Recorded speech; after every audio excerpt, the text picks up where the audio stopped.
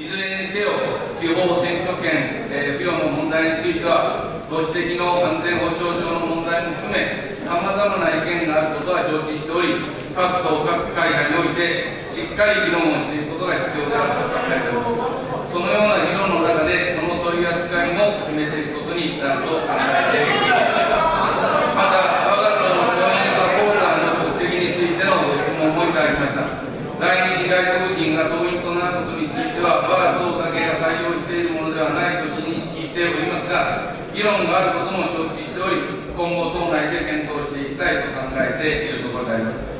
また、自由貿易と農業についてのご質問をいただきました。農業は地域の収穫産業として極めて重要な産業であり、国民全体の安全安心な生活に重要な役割を果たしているものと認識しております。EPA、FTA については積極的に進めていく必要はありますけれども、その際、我が国の食の安全と安定供給、食料の自給率の向上、そして国内の農業、農村の振興、こういったこととの調和にしっかりと配慮していくことが必要であると考えております。なお、個別所得保障制度は、意欲のある農家が安心して農業を継続できる環境を整え、食と地域の再生と食料自給率の向上を図ることを目的とするものであり、貿易自由化のために実施するものではないということを申し上げておきたいと思います。次に、予算の組み替えによる財源捻出についての質問をいただきました。22年度予算では、事業によって、えー、削減できた無駄はわずか7000億というご指摘をいただきましたが、この数字は私には理解できません。えー、私たちが申し上げているのは、約3兆円の財源を確保して、マネーと施策の実現に当てたところであります。嘘とかいう言葉もたくさん使われておりますが、ぜひとも7000億の根拠がもしあるならば、しっかりとご示書いただいた上で、質問をいただきたかったと思います。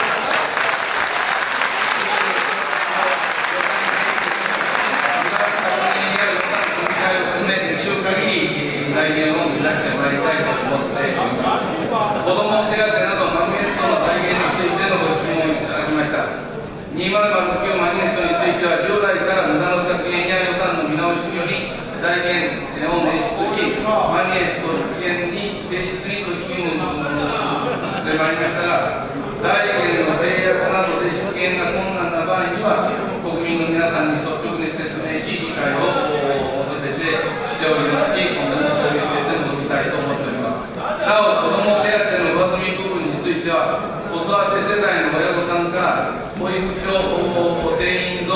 保育料軽減など人気のなく、現物サービスに変えてほしいという意見もたくさんいただいているところであります。地域の実情に応じて現物サービスにも変えられるようにするという参議院選挙のマニフェストは国民の声に真摯に耳を傾けた結果だと思っております。平成23年度以降の子ども手当については、上積みの部分の具体的内容について、現物サービスへの代替も含めて、予算編成過程で検討し、結論を得たいと考えております。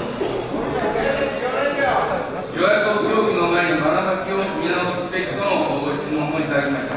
まあ、そもそも、いかなる財政状況の下でも、無駄は許されません。え、来年度予算においても強力に無駄の削減を徹底してまいります。他方、所信でも述べさせていただいたとおり、現在政府として解決すべき重要政策課題は、経済成長、財政再建、え、財政健全化、社会保障の一体的な実現、え、それに加えて、地域資源の確立と、さらに主体的な外交という5本柱を申し上げたところであります。こうした観点から社会保障改革の全体像を提示した上で、消費税を含む税制全体の議論を一体的に行う必要があると考えており、その際には野党の皆さん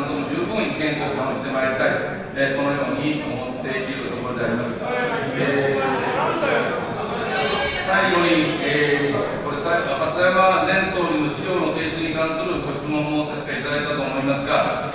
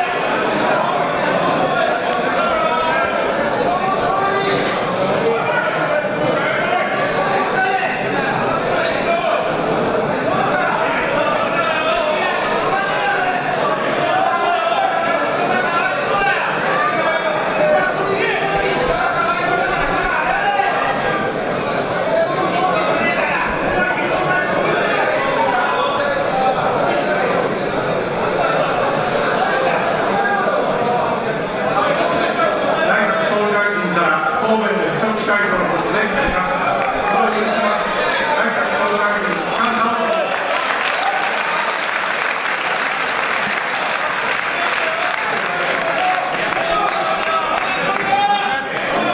間のご訪問でありますので、あのまず、現内閣の教育基本法改正案について、修正と申し上げましたが、えー修正ではなくて対案を出しておりましたので、対案としてあの改正していただきます。また、あその流れの中で、国家国旗の尊重について、えーのご質問について、えー我が国のみならず、他国も含めた